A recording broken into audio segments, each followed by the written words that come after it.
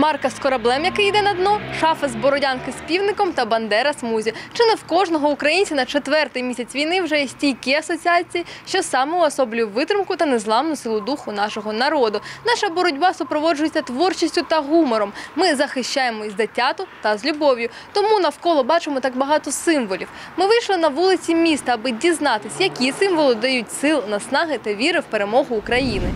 Я думаю, должна быть какая-то птица, которая ворона заклевала. А какая птица, даже представить не могу. Русский корабль. Шоповал. А чому? Потому что мы их сюда не звали, они пришли без нашего ведома.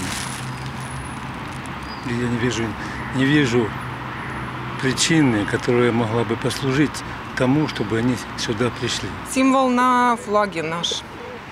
Вот это, наверное, самое большое. Знаете, как шутку говорят, нашел, нашла Россия на кого пойти. Якийсь там е, е, как у них, птиця на трезубець, да, на вилку. Ну, Вот действительно, что как бы Россия глупость большую сделала, что пошла на нас. Украинцы.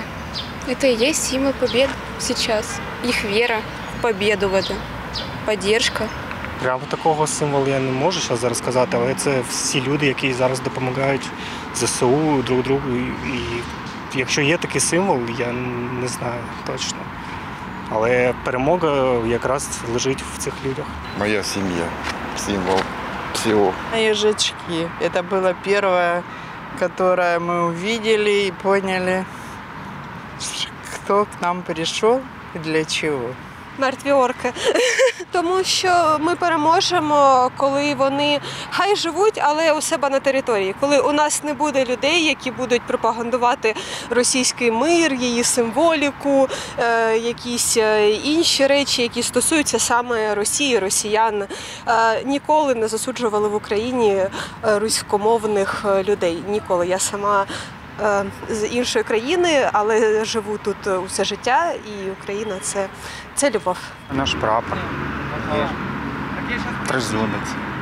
єдність людей, які згуртувалися для того, щоб допомагати не від країни, а від себе. Оця ця просто єдність це, це якесь духовне надбання, яке є таке в нас.